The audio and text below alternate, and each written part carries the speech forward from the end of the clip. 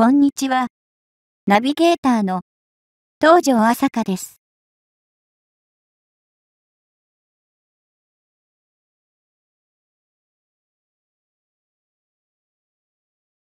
今年花高、軍事関連の火災が多いようですね。今回の米国の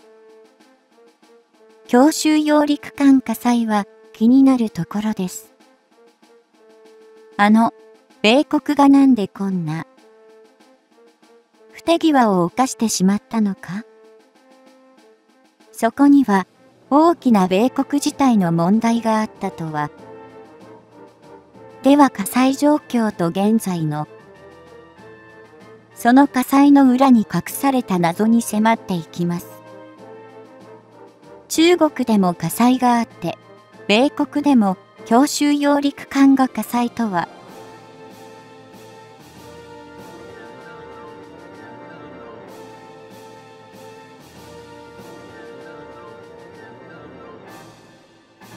2020年4月に電気工事に起因した火災の発生が報じられた中国海軍の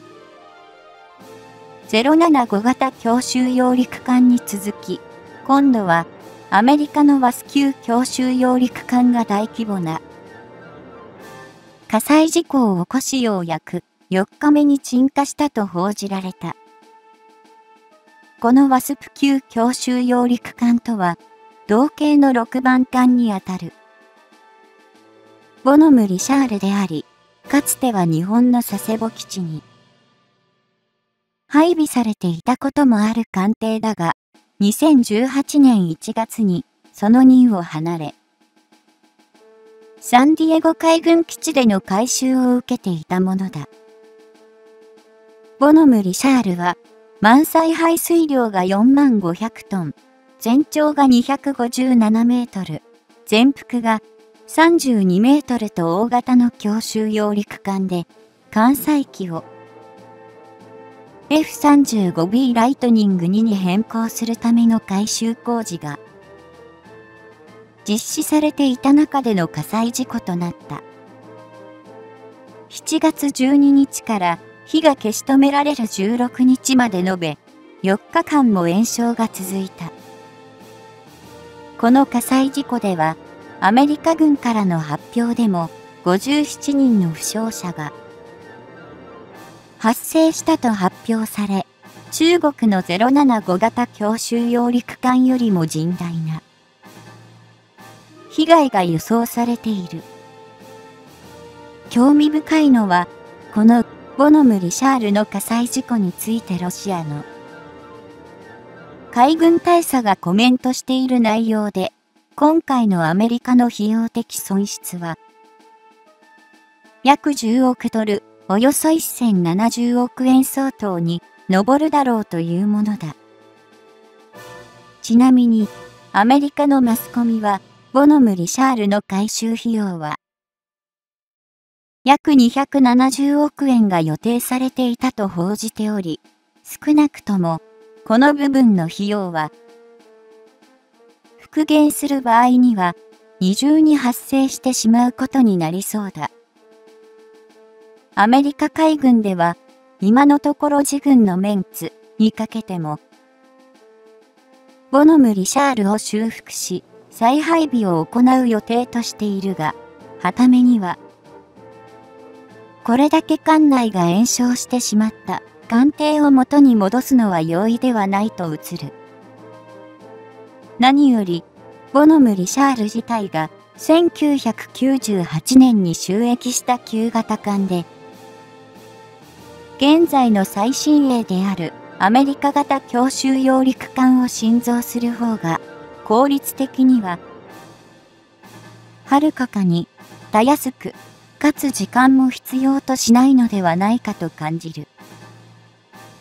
先のロシアの海軍大佐は、こうしたアメリカ軍の失態を、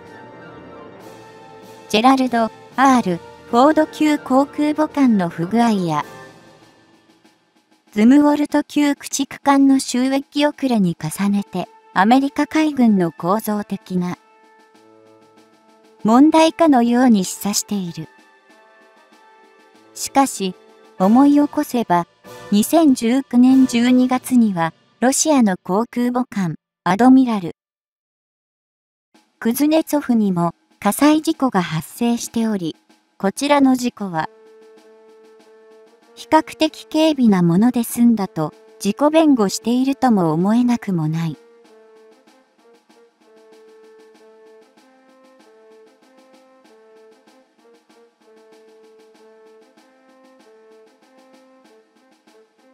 期せずして、こうした最中の7月15日に、最新鋭のアメリカ級強襲揚陸艦、トリポリが実戦配備を迎え、こちらも同じくサンディエゴ海軍基地を母港として新たに戦列に加わったことが報じられた。アメリカ級強襲揚陸艦トリポリは満載排水量が45,570トン。全長が257.3メートル、全幅が32.3メートルと前級である。ワスプ級強襲揚陸艦よりも排水量で5000トンほど増加した。艦用となっている。トリポリの特徴は、一番艦であるアメリカと同様に、強襲揚陸艦でありながらもワスプ級強襲揚陸艦に備わっていた。エアクッション型上陸用終艇を収容するウェルドックを完備に、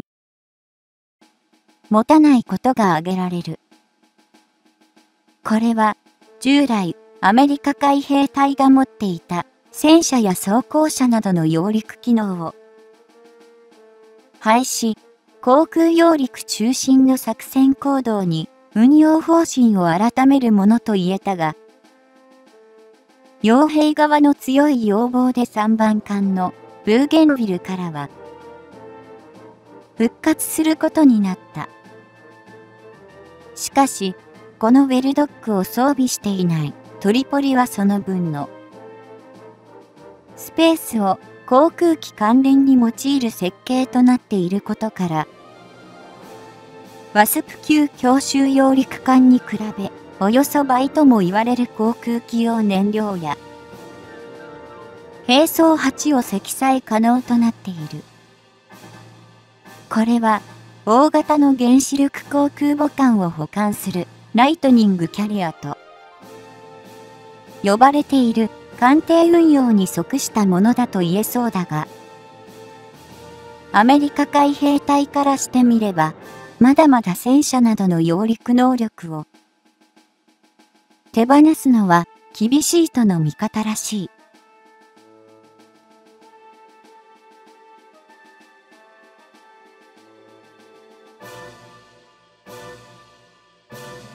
話をボノム・リシャールの火災に戻すと、今回の事故においては、全乗組員であるおよそ1000名すべては乗艦しておらず、わずか160名のみだったことが、幸運とも不運とも取れる微妙な数だったことが、伺える。幸運だったと考えられるのは、乗組員数が少なかったことで負傷者が、抑えられたという、ごく当然の指摘なのだが、不運だったとするのは全員が、